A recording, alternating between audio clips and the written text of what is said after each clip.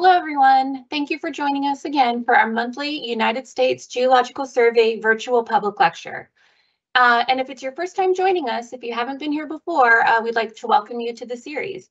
My name is Christy Ryan, and I will be your host and moderator for our lecture tonight. Before we get started, I want to take a few minutes to go over a few things about this Teams Live platform, just in case it's your first time using it, and also want to give you some information on our next lecture. So one great feature about this Teams Live platform is that you can use the Q&A panel to submit questions for our speaker at any point during the lecture.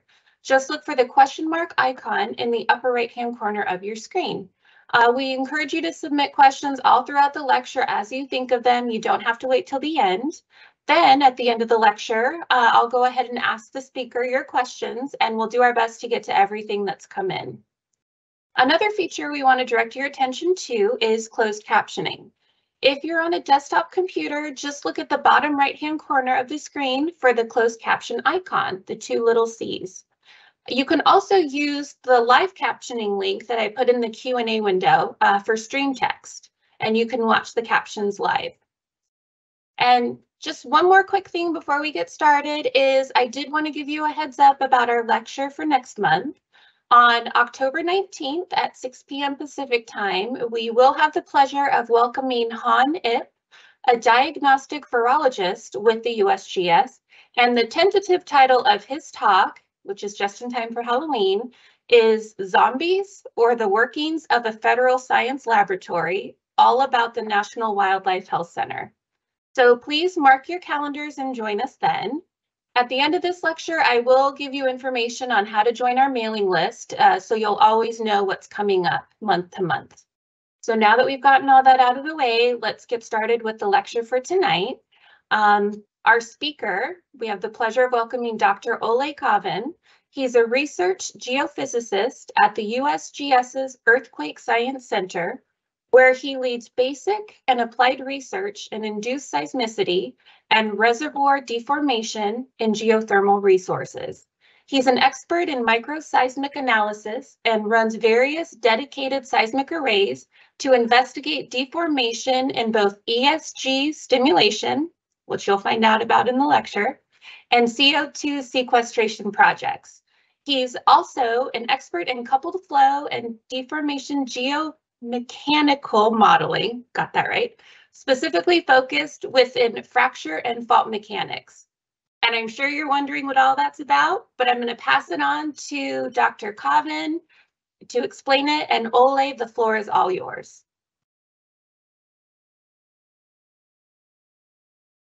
Thank you so much, Christy, for the kind introduction.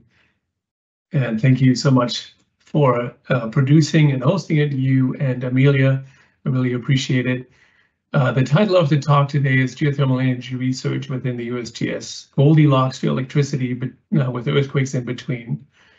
Uh, the goal of this talk is not to give a comprehensive overview of all the research related to um, uh, related to geothermal energy within the USGS. There's way too much going on. I approached this topic from a slightly different um, vantage point than my colleagues in the energy resources program because I'm interested in the deformation and earthquakes. And so um, that's what I uh, want to talk about today. I'm going to explain why we really need Goldilocks conditions and how we might be able to get around it. But uh, none of this work uh, would would have been able uh, without um, a lot of support from folks both within the USGS and outside. And I, I want to specifically mention here Steve Hickman, Colin Williams, and Ernie Majer from LBNL. Um, I had a wonderful conversation with Patrick Muffler, who will be uh, featured throughout this talk, who is an emeritus scientist within uh, the uh, USGS and is one of the early pioneers of geothermal energy research in the USGS and assessments. Um, but I also want to thank my current collaborators, Jem Erdem and Simone Giga. Without them, uh, collection of data to various seismic networks would not be possible. Uh, some of the work you're going to see here is um, from other outside research partner or in conjunction with other research partners. I also want to acknowledge the Navy Geothermal Program Office and Fervo Energy, uh, with whom we've collaborated over a number of years now. So I want to start this talk by saying that geothermal energy research is, is a really exciting, exciting scientific topic because so many different disciplines from within earth sciences are involved. And uh, as Christy mentioned, my start was in um, geomechanics of faulting and fractures. And so when I started my Mendenhall a long, long time ago, my goal was to understand how faults interact in geothermal reservoirs. It became very um, apparent very quickly that um, it's not quite so easy, and I got sucked into microseismic analyses, which I've spent most of my time on over the last uh, decade plus um, at the USGS. Okay, so uh, the outline of the talk is as follows. Um, I'm, I'm going to talk about how and um, why we should care about it in the first place. I'll mention that the Pacific, uh, the scientific pursuit alone, uh, to me at least, and many of my colleagues, is well worth it. Um, but it combines, um, because it combines a, a, variety of subdisciplines from within our sciences. But there is another uh, maybe more important argument to be made to conduct research in geothermal regions as it's beneficial to the nation as a whole because it can expand um, the energy resource portfolio and add a green sustainable source of energy. Um, for us, for all of us at the USGS, uh, our main stakeholder is the public. So um, we um, thank you for being engaged in this public lecture and um, you know take this very seriously. Uh, they aren't just, the resources aren't just uh, fascinating scientifically and have practical benefits, um, but um, it is really a situation of, you know, if it's just a little bit too much of one good thing, then you get a geyser that's shown on the bottom here. If you get a little bit um, too little of a certain thing, then you get a sinter deposit. So geothermal uh, resources really are very specific, very um, complicated settings um, that are that are really interesting, and hence in the title Goldilocks. And I'll try to explain why why that is. Given the complicated nature um, of its occurrence, um, uh, geothermal energy exploration has a long history of trying to engineer the settings, and I'll show some of that um, historic background and some that's just hot off the press. Um, and finally, by the time um, we get to the end of the um, talk, you'll probably be sick of my enthusiasm for this topic. So I'm going to make sure to point out that there uh, that there are some issues with geothermal exploration and um, engineering these settings. Um, but there are also ways that within the USGS and outside we're, we're trying to um, develop to mitigate those issues. And then finally, I want to sort of end with um, what what the actual influence on the energy portfolio might be uh, within the US. Um, and so the picture on the right is from Larderello, Italy.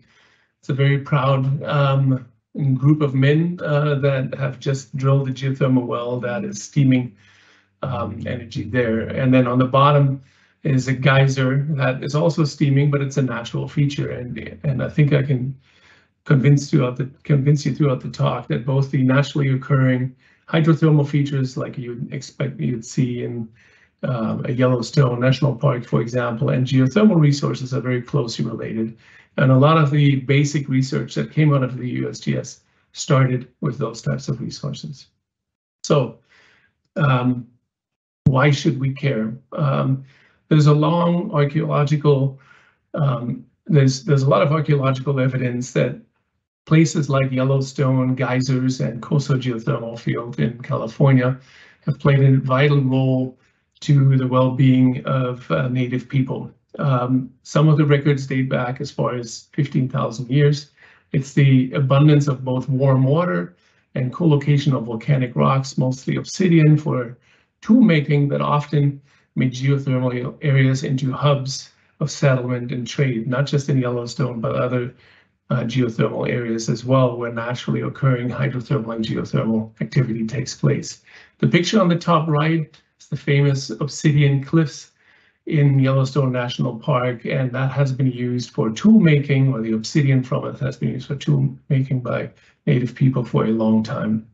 The same is true in places like the geysers in Northern California and Coso in Southeastern California. And many local tribes have frequented these areas for trade and gathering, but they've also risen um, to the level of being um, spiritual sanctuaries and areas for ceremony and healing. Economic use of geothermal fluids goes back many centuries as well. And the first uh, recorded commercial use of direct geothermal in the US is reported to have been um, a hot spring in Arkansas uh, in 1830 that fetched about $1 for the use of three spring-fed baths in a wooden tub. In 1892 in Boise, Idaho, the first direct use of district heating was built by piping warm water from nearby hot springs to heat some 200 homes and 40 downtown businesses. Similar installation followed in Klamath Falls, Oregon, and near Reno. The first geothermal resource used for production of electricity um, took place in Larderello, Italy in, in 1904. And so um, these are the pictures on the bottom right. This is a picture from Larderello um, that was used there. The picture on the top on the left side is actually from the geysers um, in the uh, late 1800s. So early uses, I've already mentioned Larderello, Italy. Um, the first geothermal power plant in the world uh, was built in Tuscany in Larderello in 1904. Um, the uh, Prince Piero Ginori Conti uh, was the first one to um, create a geothermal energy generator. And it was a dry steam field. And uh, these are very rare. But because it was a dry steam field and it uh, was able to produce, had basically a high enthalpy, was able to produce about 10 kilowatts of energy and power about five light bulbs at the time. From these very humble beginnings of Larderello, um, Conti's generator eventually um, was expanded in 1911. Uh, the area of Devil's Valley was the first geothermal power plant that was completed there in 1913. And uh, finally, the first power plant that had an installed capacity of about 250 kilowatts. It was at the time used to power the Italian railway system in nearby villages.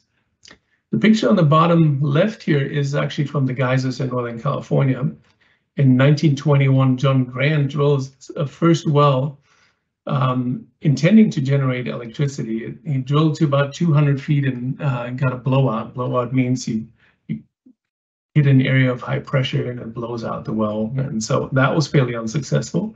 He was able to go back a year later and drill another well and uh, put the first uh, uh, first United States geothermal pl uh, power plant into operation.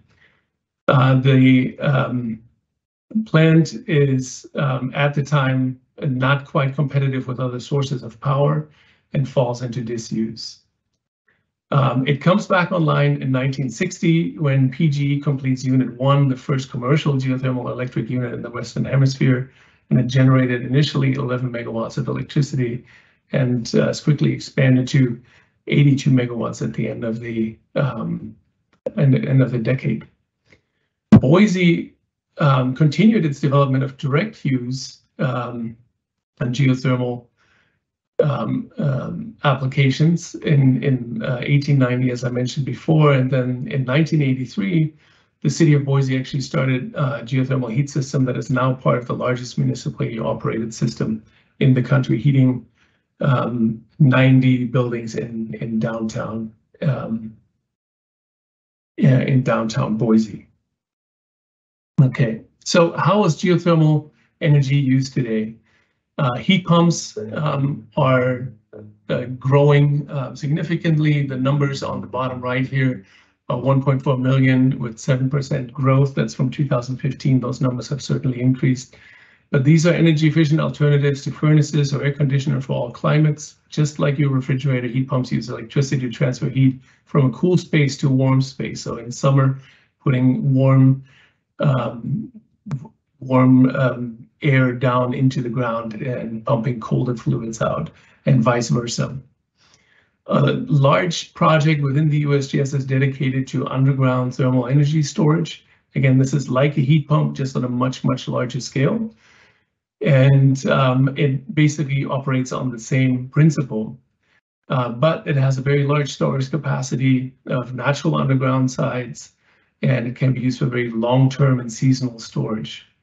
Um, underground storage can efficiently store thermal energy from a variety of sources, including summer and winter ambient air, solar energy, byproduct of waste heat from industrial and other cooling processes, and it can store it underground for a long time.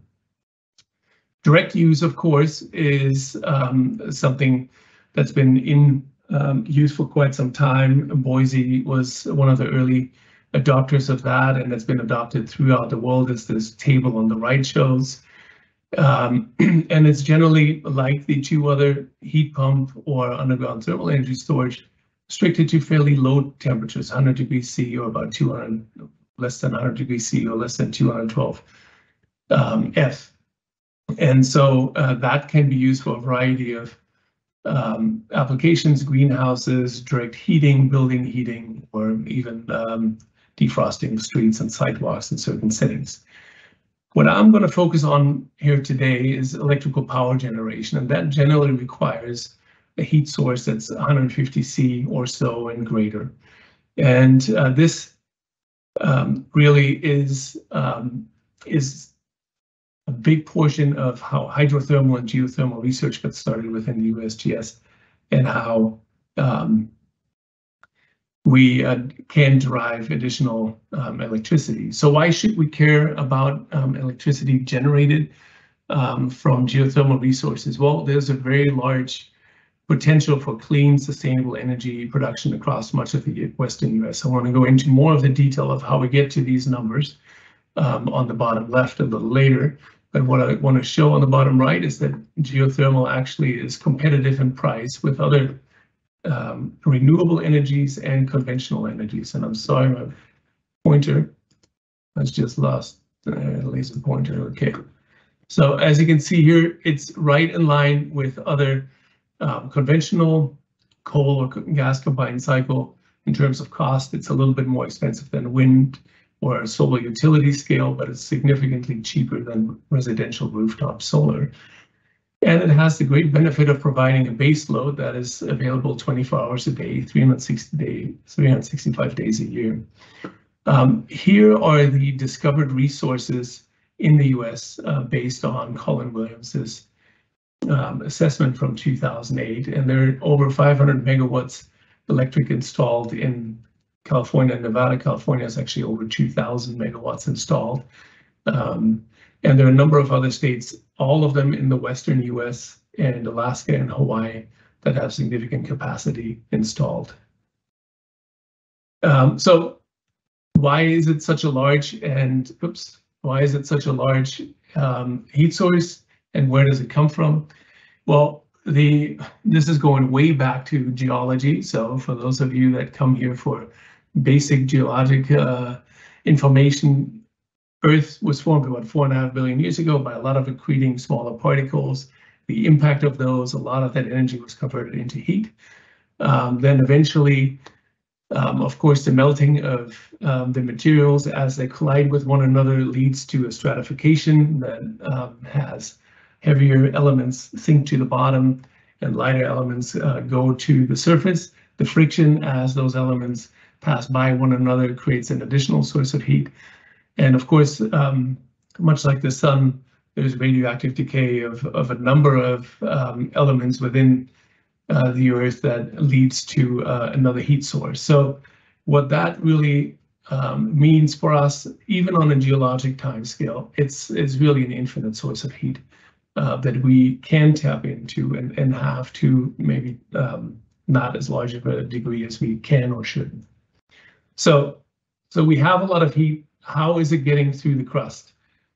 Um, so this map on the right here is from the National Geothermal Data System, and it's uh, collating um, a number of well observation throughout the Western US. Of course, these are point sources of uh, measurements, and some of them are not as deep as 2000 meters, actually very few are, but there are a number of tools developed from these early experiments in um, hydrothermal and geothermal uh, research that, that lend themselves to actually extrapolating temperatures to depth. And then, of course, um, really um, novel and complicated methods of actually interpolating spatially in between them. So what we can see, what we can observe, there's a sort of general trend of hotter in the west, cooling to the east. There's one one would expect away from the plate boundary uh, towards the west, towards the uh, central uh, US craton, um, and with a couple anomalies, of course. Uh, the biggest anomaly um, that sticks out maybe in California is the Salton Sea Trough. This is an area of extension as it's the northern part of the Gulf of Mexico extension area or rift zone. It's another big portion up here centered around the geysers. And then, of course, more than half of Nevada really has high temperatures um, up to 150 degrees and, and above, and certainly above about 120 or so at 2,000 meter steps in, in a large portion of Nevada. I've superposed here the faults because faults will obviously factor very prominently in this talk because it's a research topic that I'm really interested in and I think I, will be able to explain that um, they play an important role in these part of this Goldilocks um, equation, I suppose. So the heat anomalies occur where you have crustal thinning in Nevada. That's the basin and range extension, basically polar plate extension uh, related to uh, the plate boundary. Um, volcanic regions, Yellowstone, of course, is a, a large resource, uh, certainly not one that's going to be economically explored anytime soon, but one that is scientifically extremely um, useful to the geothermal and uh, geothermal community. And then, um, the, as I mentioned already, the extensional basins in Salton Sea. There's a few other places where um, they're related to volcanic activity and drifting or um, old rifts in uh, both New Mexico and then in portions of Utah as well. So what what makes a geothermal resource? Um, well, these figures here are both from Don White with a number of um, other works by his colleagues at the time. And put yourself back into the situation of the 1960s. Plate tectonics is just sort of arriving as the new paradigm, a true paradigm shift of how geology works. And um, it is um, an area of active research within the USGS um, by a number of different people uh, Don White being one of them. The other folks that uh, really factor prominently in the development of our understanding of geothermal resources and hydrothermal resources are Bob Fournier, Patrick Muffler, who I already mentioned, Art Lachenbruch, and Alfred Truesdell, of course. So at the time, Don White was um, and was working at both Yellowstone and Steamboat Springs, and he and his colleagues really developed the sort of framework, the geological framework of how um, how these systems work. So in the simplest form, in Yellowstone, you have a convecting magma, that's your heat source. You have some type of conductive um, heat transport through the rocks, but you have faults right here in these areas. Let me just see if the printer is there. You have faults in these areas, and they factor in prominently. Then above that, there's um, some permeable rock, and above that is a rock with low permeability. So what is happening in these places and what he and his colleagues figured out that meteoric water, so water from the surface, whether it's runoff, lakes, um, rain or whatever, percolate down into the crust along faults, fractures, or areas of low perme high permeability, get to an area where they can heat up, they get heated up and then transferred up and come up at the surface as either a hot spring or a geyser. And so um, he started this research basically because he was interested in how minerals form and how ore deposits form. And ore deposits really are a hydrothermal system that didn't quite have Goldilocks conditions that eventually seized up because the permeability of the crust um, went away or the heat source went away. So this initially stemmed from uh, trying to find minerals and understanding how they how they work. So the other thing that he, Don White and Bob Fournier then realized the water that's coming up, obviously it's it's cooling down as it comes up. It interacts with both the host rock and the uh, elements contained within it will um, precipitate out of the fluid at different temperatures. So as it comes up, it cools. Certain minerals uh, precipitate, mostly clays. Then it cools off, mixes with meteoric water, and comes back down. So um, at places like Yellowstone, it's the components, the chemical components, the geochemistry of the fluids um, really indicated that it's meteoric, so surface water that percolates through right around the same time the Salton Trough geothermal resource was found, and there was actually the brine, the low water, uh, water that's in deeper portions of the rock that has a different type of precipitation and therefore geochemistry that led um, the early researchers to conclude that it's not fed by meteoric water. Um, so that all was was really important, and the the same type of implications were uh, found at a, a, different type of setting. This is sort of an extensional setting. This is uh, in the Reno area, Reno, Nevada area, uh, Steamboat Springs. And here, basically, you have a fault and extension hosted system there's a heat source below. Fluids, again, can percolate down. Meteoric fluids can percolate down the faults, get to the heated source, and come back up. And here, the fluid chemistries are very much the same these fractions of different precipitates and different components within the water after it was determined that it was meteoric water um, led Bob Fournier to realize that you can use the composition of fluids as, as a geothermometer so that the relative compositions of the fluid that are coming up and can be sampled really give an understanding of what the um, resource is, how hot it is at the bottom, and what the chemistry is. And again, those types of geothermometers that were developed in these settings in the 60s um, really led um, led us to make these types of extrapolations as heat for the heat map that I showed a little earlier. So you can see this is a pretty complicated setting. Geochemistry is at play, surface water, um, heat, fluid flow, of course, and faults and fractures are there. So geomechanics are a big portion of it. And so the ingredients are, again, we need crustal thinning or magmatic anomaly where there's a shallow heat. We need fluids, meteoric. Um, in certain places like Salton Trough, they can be brine, deep brines that get circulated as they come up. We need a permeable crust that can maintain the permeability. If it doesn't maintain the permeability and the precipitates, the clays, kaolinites, and so on, clog up all the pores, then no more circulation can take place and uh, you, you might end up with sinter deposits. So um, not too much of a deposit, but enough of a deposit to actually keep temperatures and pressures um, uh, below high enough. So you need a bit of a cap rock that actually keeps pressures and temperatures below. So this is really, these are really Goldilocks conditions that do not exist in many, many places. And here on the right is, is one of the, uh, the geysers at which um, the, the USGS crew from the 60s and 70s did a lot of the research and developed a lot of these. So um, now, 55 years later or so, obviously we've learned a lot more about a lot of different system and you know we get plots in color which is really nice so here are really the three different types that have been sort of identified as being geothermal resources here's a volcanic source that might be akin to um, the geysers, the Coso geothermal field where you have really high temperatures, um, fairly shallow. Um, you have meteoric waters coming in on the side of your volcano or wherever they may come in. They get heated up, they travel up. The water chemistry changes. It actually forms um, argillic alterations here and clay caps at the top which keeps the pressures and temperatures and fluids below. They then go down the side of the volcano, come out as either a fumarole or a spring. So that is one of the resources.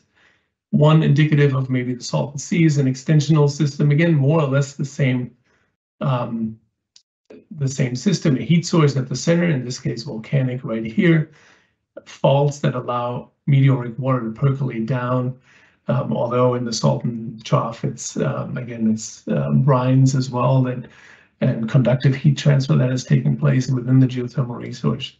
And then coming up, eventually building a clay cap, keeping steam and or hot water um, under that steam cap and being able to drill a well here. This one is more akin of the extensional type of regime that Basin and Range Nevada would look like. Um, thin crust, so conductive heat trans transfer from uh, deeper portions of the crust to the shallow crust where it's fairly hot, fairly shallow, uh, meteoric water coming down the, the faults, traveling up, getting heated up in, in permeable layers, and then traveling up often faults and so on. So um, certainly a lot more understanding um, since the early days, but not so different than what um, our colleagues from the USGS back in the day learned. So if we now put this all into favorable locations, so this is a favorability map that comes also out of their uh, resource assessment from Colin Williams in 2008, and I'll talk a little bit more about the details here. But um, it convolves all of these Goldilocks conditions of shallow heat, uh, permeable crust, and, and the right temperature and geochemistry that allow for sources to be there. And so if we now look at where they are found, Salton Trough right here, extensional basins. This is type of this is the type of resource we're looking for there. Volcanic regions, Newberry volcano, uh, geysers to some degree, and Coso geothermal field right here. And then of course here the arrow really means to be this entire area here, an extensional type of setting, an amagmatic geothermal system, but one um, that is hot enough for electricity production as well. Oops. So how do how do faults fit in all of this? So we've seen on the previous picture of heat and the quaternary USGS quaternary fault map that they don't really correlate and it's really the crustal thinning to extension and whatnot that happen. However, in the shallow crust, it's really the circulation of deep fluids through the shallow crust that uh, do this. And Jim Faulds, who's at UNR and is the Nevada State geologist, um, has written many papers that are nicely summarized in this um, uh, summary paper that recently came out. And he's talking about it's not the actual major fault or main fault that is the host of a geothermal system, but rather it's the complexity of the fault, where you have a splay fracture or tailing um, that come off, where you have two different faults that intersect and interact with one another, a relay that connect closely spaced extension um, at the at the tips of big strike slip faults, um, or when you have strike slip faults where you have sort of a pull apart basin. And in 3D, it kind of oops, in 3D it kind of looks like this. This is where you would target with a blue line here region of high temperatures.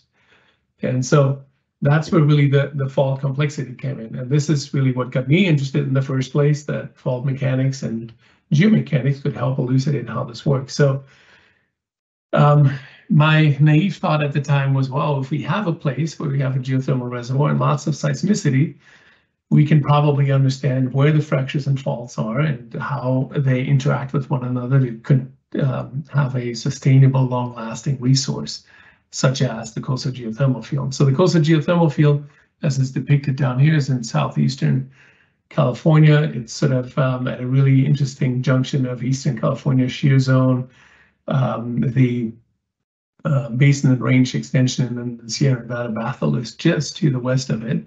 So it's a geologically very, very interesting point. It's um, has a very shallow brittle ductile transition. The red dots here in this plot are seismicity that is very shallow. There's a lot of other seismicity in the in the area around it. The recorded seismicity here is from the Navy Geothermal Program Office. It's local network, so we have very good resolution. My thought at the time was if we relocate this catalog, which is to, to say we use the waveform similarity between different events to get very high resolution um, relative um, catalogs, we ought to be able to tease out the faults. And so um, I spent uh, my early years at the USGS trying to uh, do that well.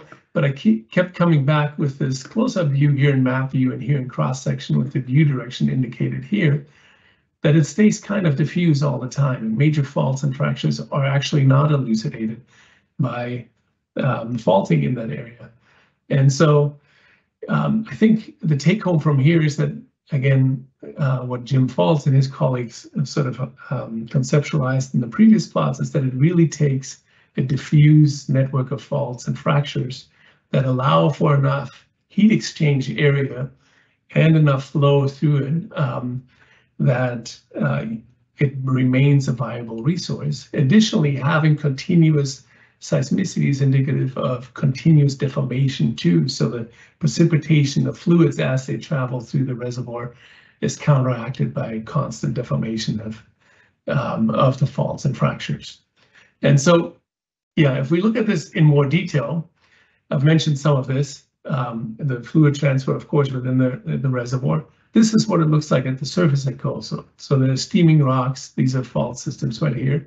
And if you put this in a map, as my colleagues Nick Davatzes and Steve Hickman have done, these are the red dots. They line up along one of these smaller faults that, again, also is fairly complicated. The yellow dots here are stress measurements from various wells. The blue lines are quaternary faults mapped in that area. And then all the black dots and lines are producing um, wells in that area. And so the fractures need to continue to deform.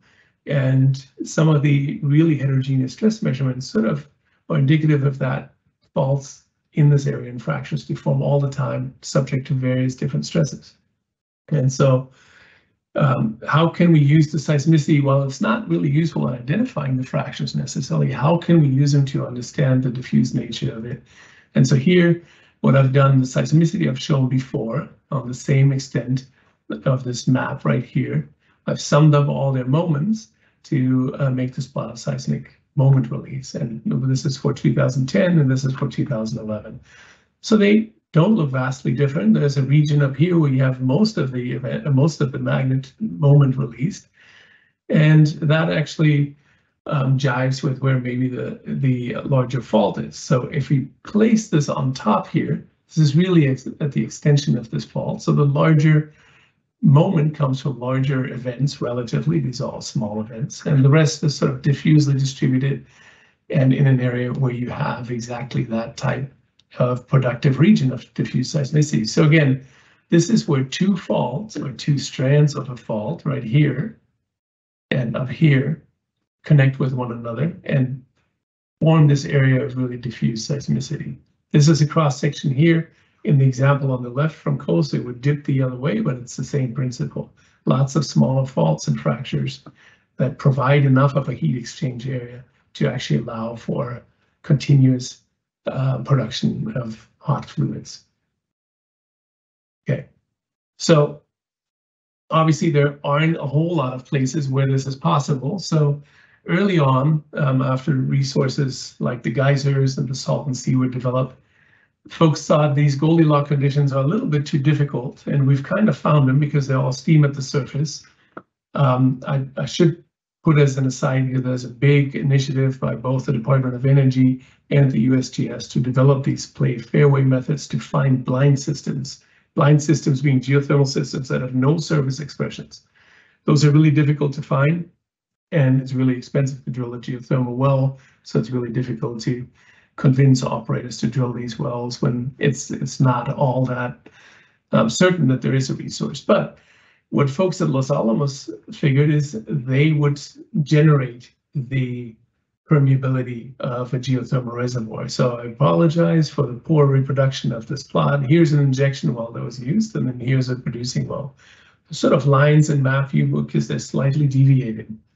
And so at the time, this Fenton Hill project got off the ground in the 1970s, the conventional thinking of how you stimulate a reservoir in oil and gases you stimulate at a near vertical well, you form a penny-shaped crack uh, because the simple Kirsch solution allowed you to um, explore Kirsch solution allowed you to um, understand where it is, and then other analytical methods allowed you to um, inform what types of pressures you need to do those.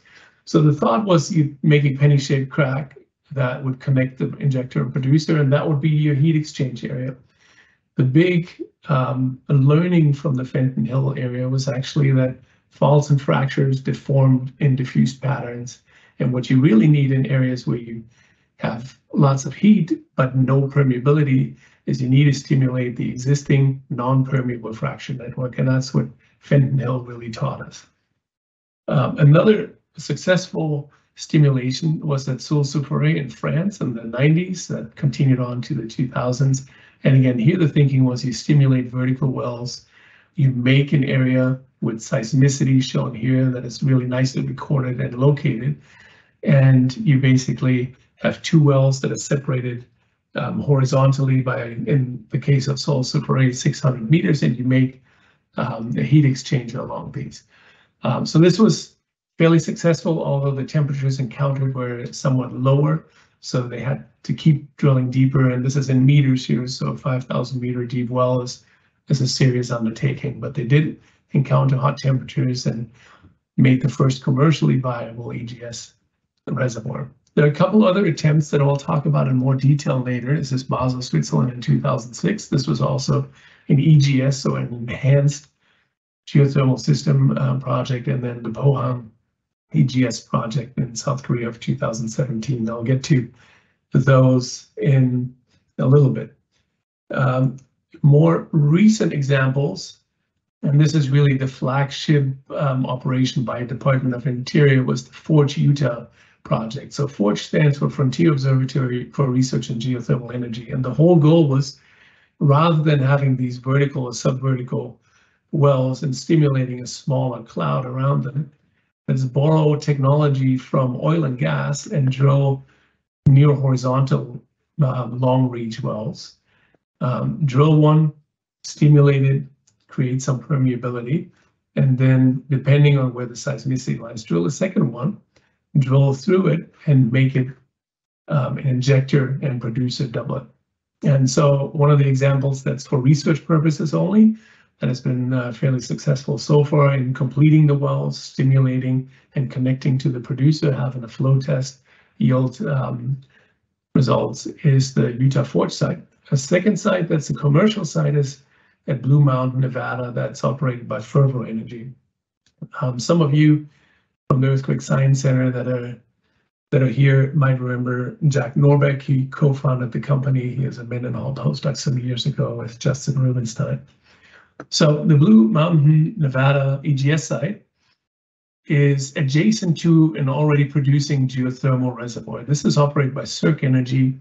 It's a sort of one of these extensional type systems where you have upflow right here along sort of a high permeability portion that comes up to the field and um, you produce from the eastern end of the field. There's cold water flowing down. Some inversions of temperatures are seen in the shallow portions of these producing wells. Um, so this is um, a producing well, a producing reservoir that's been in in operation for quite some years. It, it operates about, or produces about 25 megawatts electric, so it's quite substantial portion. The tricky part at the Blue Mountain site is that there's seemingly the southern reservoir boundary across which there's no communication to the wells out here, 7322 or 3423.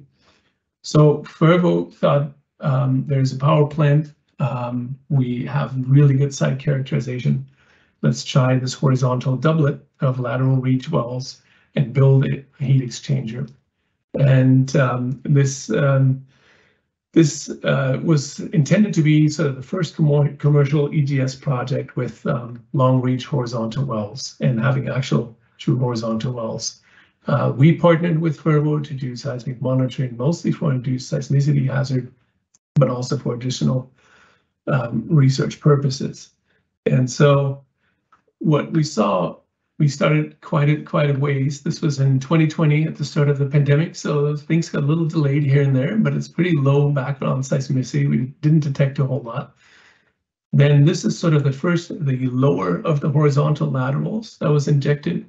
So we had a lot of seismicity all of a sudden. Frequency is shown in these red forms and then the magnitudes right here uh, died down pretty quickly, um, even though 16 stages were drilled. And then there was the producer stimulation. Unfortunately, there was a casing leak, so it had to be postponed for the completion of it here. And then there's a 30-day flow test.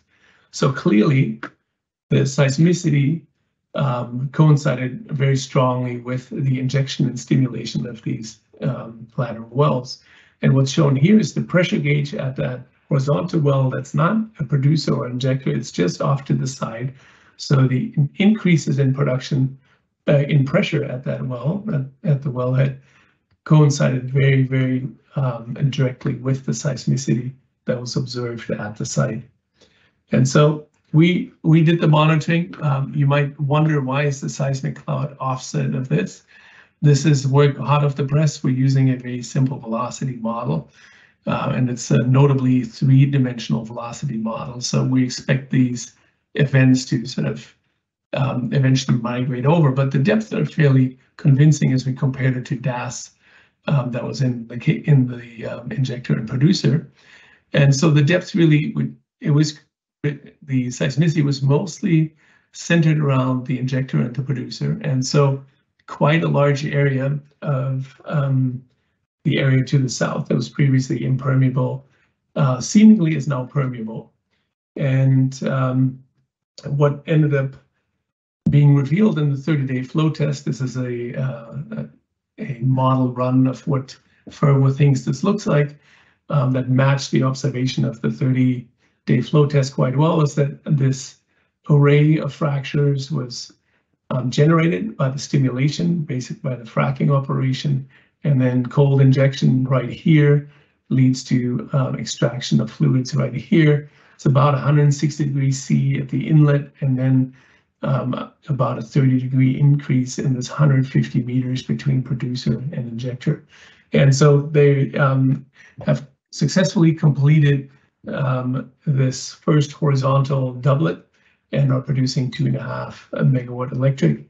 Uh, the number of new projects that are coming up so, so far, all of this sounds like it's it's great and we should adopt it everywhere. Well, there's a couple cases that sort of halted progress for a little bit. In 2006, um, there was a project in Basel, Switzerland, more or less in this in, in the city center, and they increased um, the injection pressure, and then that led to um, a 2.9 earthquake right about here they shut in the well, meaning they didn't pump in anymore. And a couple of days later, about a week later, there's a 3.4 earthquake, which in Nevada, it might not be a big deal, but in the city center of Basel, you know, a metropolis of 700,000 people with lots of old buildings, certainly historic seismicity has occurred, but that's not something um, that the local population wanted to support. So it ended that project.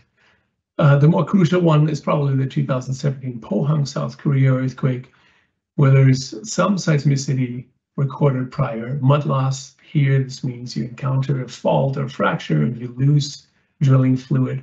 So it's uh, an indication that you've hit some structure, possibly a fault structure. Uh, some earthquakes happen, nothing too worrisome. And then finally, um, when the stimulation actually happens, some pretty significant earthquakes happen with magnitudes over two. Some of the, the pressure was reduced, uh, and then there's a little bit more injection later on. More earthquakes of higher magnitudes happened, and then finally a 5.4 earthquake happened. Uh, it caused one fatality and significant economic losses. So induced seismicity, earthquakes can be helpful, as I think I've shown before, but earthquake, earthquakes can also be um, not beneficial. So we need to figure out how to actually mitigate the hazard from earthquakes. And a lot of work has gone into this, how you plan for an earthquake. Uh, the Department of um, Energy has released the best practices document that um, really is outlining seven steps of how you properly uh, plan for an EGS project. And plan for the seismicity and mitigate the seismicity. And some of the things that come into play there and do seismicity mitigation plans, probabilistic seismic hazard modeling. And for one of these projects, it was Port of Forge, Port of Forge, um, we actually um, ran simulations of what type of seismicity might be uh, produced by one of these doublets and what the tectonic uh, what the seismic hazard due to the injection might be related to this tectonic hazard. In this case, it was fairly low. Um, but the one thing that you know is really important, as I think the cases of Basel and Pohang have shown, is that you have to have a plan of what you do when you get big earthquakes.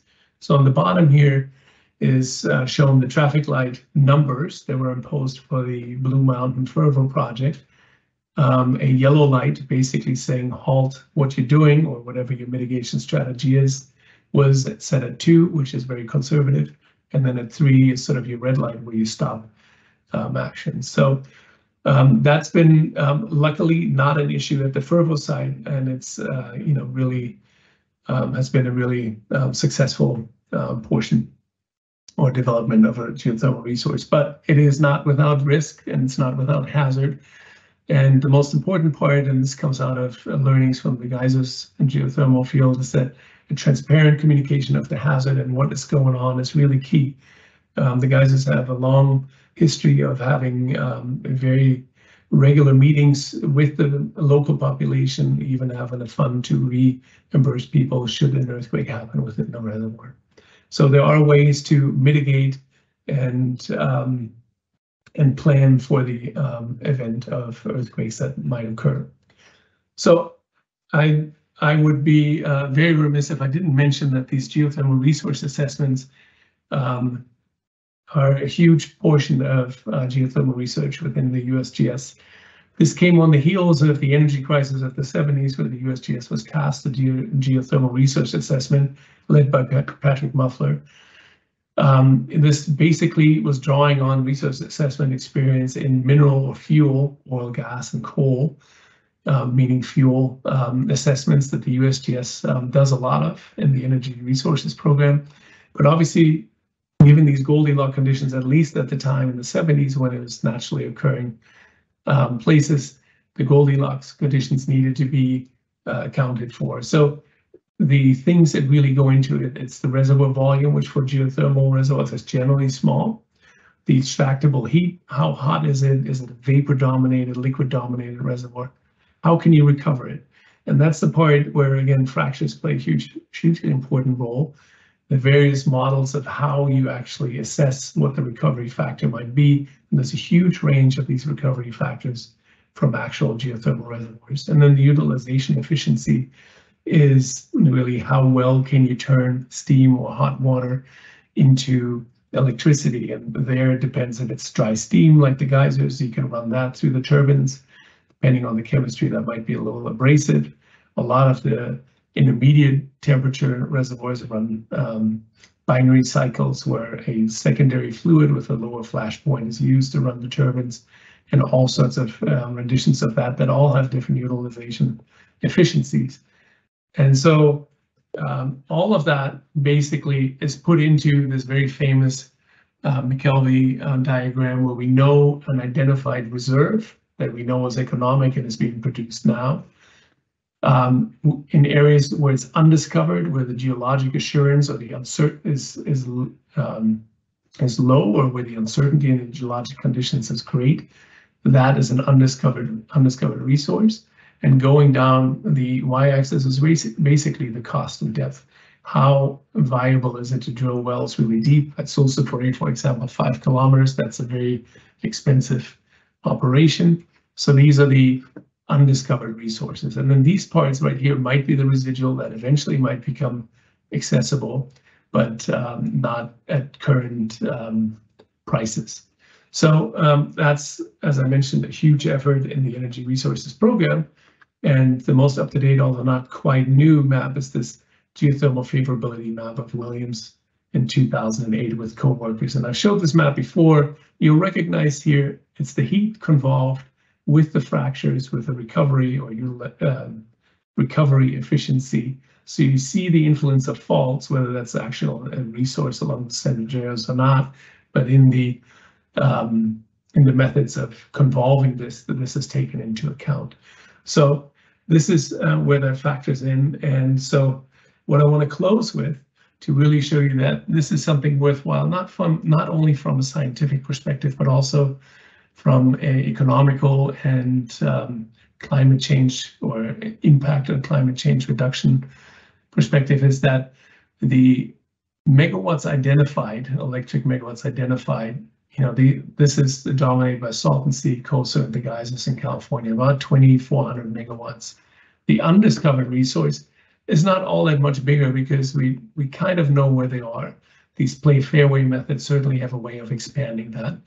Um, so they're about a factor of two, maybe a little more larger than um, what um, the discovered resources. But the EGS resource really where we don't have to rely on the Goldilocks condition of being at a particular part of a fault that provides the crustal permeability is to expand EGS. And the big player here is, of course, Nevada, which has a lot of available shallow heat uh, across a big area, not just an isolated magmatic area or volcanic area. And so um, what this comes out to in this assessment, which um, to date is still the most um, reliable one, in my opinion, that uh, about 345,000 megawatts electric in the lower 48 can be produced. And I think what these uh, new projects like uh, Utah Forge, which obviously is not commercial, but a research project, and the Fervo Blue Mountain project shows is that is a target that's uh, that's useful. Um, that corresponds to roughly half of the currently installed or 2008 installed electric power generation capacity in the US. So this is a this is a big number. And so uh, in summary and conclusion, I've mentioned this throughout. Um, it's a fascinating field of study because it requires so many different aspects of our sciences. There's a very long and storied history of research at the USGS, but it also is a natural lab for many other aspects relevant to tectonic earthquakes and deformation because the earthquakes and the faults are generally shallow and we have some information on the pore pressure diffusion in there and the heat distribution in the reservoirs. Obviously access to production and injection data is it's not always easy, but there's some very cooperative um, operators out there. And I think what I convinced you on the slide prior to this one is that has a really significant potential for sustainable and green energy uh, that can usher in um, an era of uh, combating greenhouse gas emissions and providing a viable long-term um, source that is a baseload baseload um, energy source that can complement um, energy sources like renewable energy sources like wind and solar. And with that, I'll leave you with these two pictures of Mr. Grant's first well at the geysers and this the producing uh, doublet at Blue Mountain just a couple months ago. And that picture is courtesy of Jack Norbeck. Thanks very much. Oh, thank you so much, Ole. That was great. just a great overview of all the research going on geothermal wise at USGS and the history and how seismicity ties in, just all really interesting and really fascinating to learn about. So we have gotten some questions in and just a reminder for everybody, please feel free to uh, submit a question um, if you have any. Um, you can click the uh, question mark icon in the upper right hand corner of your screen. That's the Q&A chat window. So I'll go ahead and start. Let's see here. So Kathy asked a question. Um, this came in fairly early on in the talk, and she says, what is meant by meteoric water? Yeah, thanks. Thanks for that. I, I, might have not explained that well enough. Meteoric water is basically water coming from the surface. This can be rainfall that percolates into the ground surface and nearby lakes and so on. That's meteoric water that circulates through um, this big loop that um, Don White Bob Fournier and folks envisioned happening at Yellowstone and at uh, Steamboat Springs. Great. Um, another one that came in scroll back up here. Okay, so this person was anonymous and they said, okay, so I understand the USGS does the research, but where does it go from there? If you find an area suitable with geothermal activity, what's the next step? Are you partnering with Department of Energy? Yeah, that's a really good question. So the USGS is tasked to do these energy resource assessments, and that's not just limited to geothermal energy. Uh, this has been done for coal, for oil, gas, um, and minerals for a long time. So um, these maps are regularly updated and provided to the public, to operators. Um, anybody can use them. So these are favorabilities. How likely are you to encounter a resource there? So that's one of the products where you know that's put out to the public and operators may use that as they wish. Um, we in both the Energy Resources Program and the Earthquake Science Center collaborate a lot with the Department of Energy, especially for these efforts like the Forge, the Frontier Observatory of Research in Geothermal Energy in Utah, to understand the nuances of these things. Of course, the, the general theme that I outlined here, that explains sort of the, the zero and first order effects, but there's a lot more, you know, de the devil is in the detail, as I showed before. So we partner with these folks to try to advance the um, understanding knowledge um, of these systems, how we can better um, engineer uh, these EGS systems, for example, how we can mitigate um, the hazard of induced seismicity from those. So there's a number of of aspects to it that the USGS involved, and I certainly am not doing justice to all of those efforts. Okay, thanks. Um, this just this one just came in from Kent. Um, he says the mitigation efforts. What are the efforts? Length of the horizontal well, pressure, specific fluid, other? Question mark. Yeah, that's a good question. I had to brush over that since I was running out of time. So what's generally done in these traffic light systems is a certain magnitude or a ground motion at the surface is set as your threshold.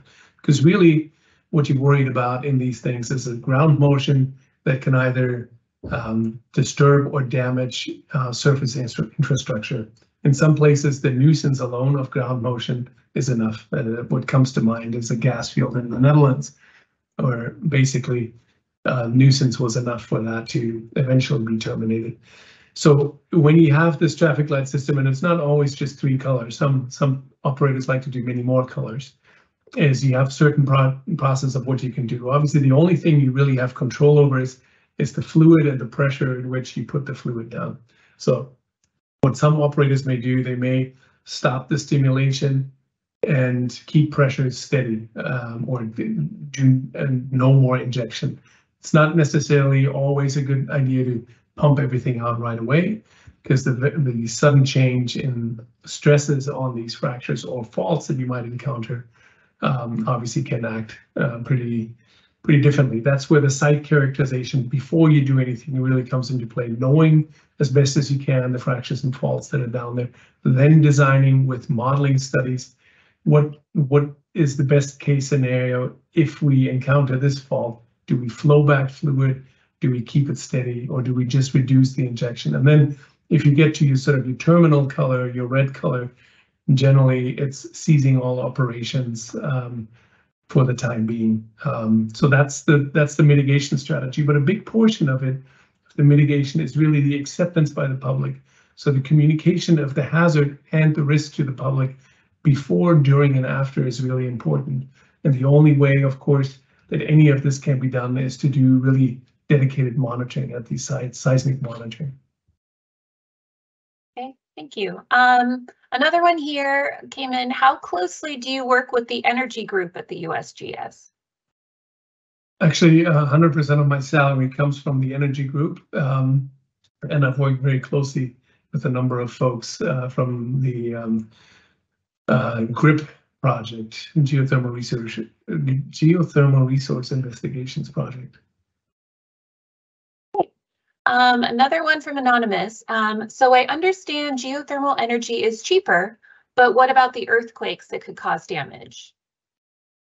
Yeah, so um, good question. Um, I hope I, I elucidated that there are ways to to get around that. You know, Basel is one of the cases where it wasn't a really big earthquake at 3.4 by, you know, Bay Area standards, for example that's a that's that's pretty commonplace, and uh, you know people wake up to it, but nothing really happens. If you do it in a city center that's not used to earthquakes like these, and what comes to mind is the induced seismicity crisis across the central and eastern U.S. starting in 2011, related to oil and gas exploration. So that that is is a big issue. So it's what we generally evaluate is the hazard. How much ground shaking can you possibly produce, or what's the likelihood of that?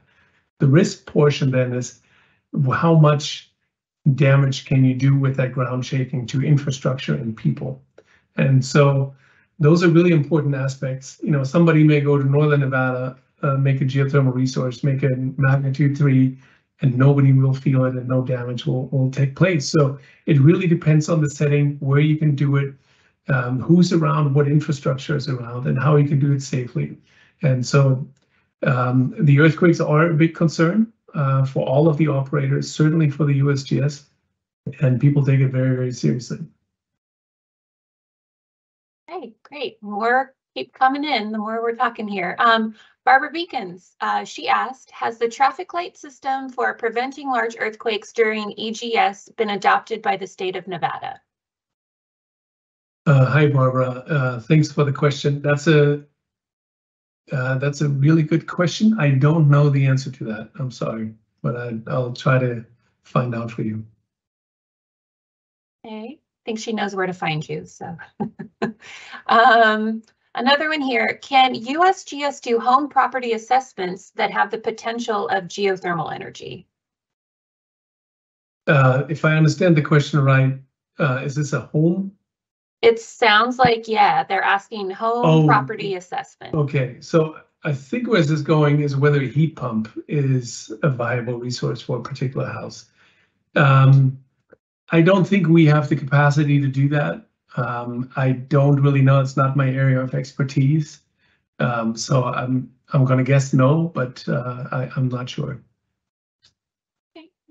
Um, looks like there's one more here.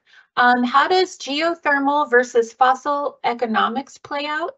Seems like geothermal would be lower operating costs over the long run.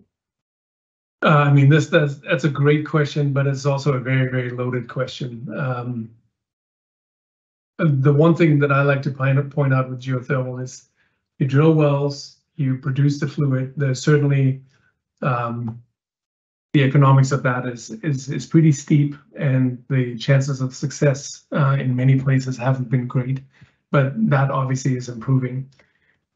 When you look at the life cycle of a geothermal resource, the only um, sort of output of it is generally steam. And so there's really no harmful byproduct of that. If you were to look at the life cycle of oil and gas, where a producer does not have to pay for the the life cycle cost of emitting the gas once you once you burn it, it's a much different value proposition. And so they're not directly applicable. They're not directly comparable. Uh, the economics in that sense. The economics of just producing electricity from it, um, they've been laid out pretty clearly. The Lazard 2020 study compares all of those values. Um, and of course, oil and gas is, um, or the energy produced from it is generally cheaper, but the US actually doesn't burn a whole lot of oil uh, for electricity generation. So it's again a little bit different operation, but uh, it's a very loaded, complicated question. I'm certainly not the right person to answer it. Um, I hope the figure earlier in the plot where the levelized cost of geothermal versus coal, nuclear, all of the other renewables, uh, and um, uh, and gas uh, electric production helps with that. Okay, well, great. I, I think that's all that we have at the moment, question wise. So, um, yeah, thank you so much, Ole, for taking time out of your schedule to give this lecture. Um, thank you to everyone out there for tuning in tonight and asking all these great questions we were able to get to. Um, and just in case you want to watch this lecture again or share it with others, Ole's lecture will be available in about a week for on-demand viewing on our public lecture website, which is on your screen. It's www.usgs.gov slash PLS. Uh, on that website, you'll find videos of past lectures uh, spanning the past 30 years that we've had this series going and our lecture schedule for the rest of the year. Um, and pretty soon we'll have details on lectures for 2024 on there as well. Um, and if you want to be part of our email list, um, we just send one or two emails a month, just giving you a heads up on the lecture topic. You can send us an email at wmcesic at usgs.gov and we can add you to our list. And finally, we do hope you'll join us again next month on October 19th um, at 6 p.m. Pacific time for Hon Ip's uh, he's our diagnostic virologist, and he's going to give a talk on our USGS National Wildlife Health Center. So again, thank you to Ole for the great talk. Thanks to all of you for joining us, and I hope everybody has a good evening. Good night. Thank you. Good night.